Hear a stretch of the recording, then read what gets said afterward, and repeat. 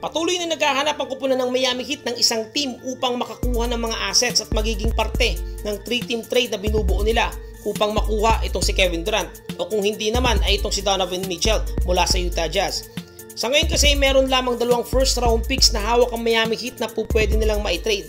Ngunit ayon sa isang report, tinitingnan ng Utah Jazz ang mas malaki o mas maraming first round picks na makukuha nila kaysa sa nakuha nila mula sa Rudy Gobert trade. Sa Rudy Gobert trade kasi ay naka-acquire lang sila ng apat na first round pick. Yung ikapanlima dito ay yung swap pick naman. Sa madaling salita ay kukunin nila yung mas favorable na draft pick sa taong 2026. Naku naman, mukhang malabo pa sa sabaw ng pusit para makuha ng Miami Heat itong si Donovan Mitchell. Habang ang negosasyon naman sa pagitan ng Brooklyn Nets at Miami Heat ay tila kabaliktaran ng tandway. Imbis na habang tumatagal lalong sumasarap, ngayon ay nagiging habang tumatagal, lalong tumatabang.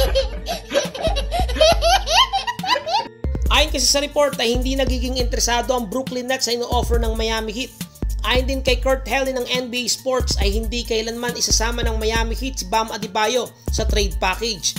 Ibig sabihin, magiging limitado lamang ang makukuha nilang kapalit para kay Kevin Durant kung ititrade nila ito sa Miami. Kung baga, parang Tyler Hero Duncan Robinson lang at dalawang picks ang makukuha nila sa Miami Heat. Sa isang balita naman ay ayon sa Bleacher Report, motivated ang New York Knicks na makuha itong si Donovan Mitchell mula sa Utah Jazz.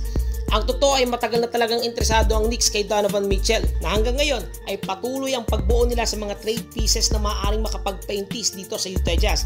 Na kung ang Miami Heat ay meron lamang dalawang tradable first round picks ang New York Knicks naman ay merong 11 first round picks at walo sa mga ito ay maaari nilang ma-trade kapalit ni Donovan Mitchell. Dahil ang plano talaga ng New York Knicks ay pagtambalin nila ang newly acquired nila na si Jalen Bronson at kung sakasakali ay si Donovan Mitchell.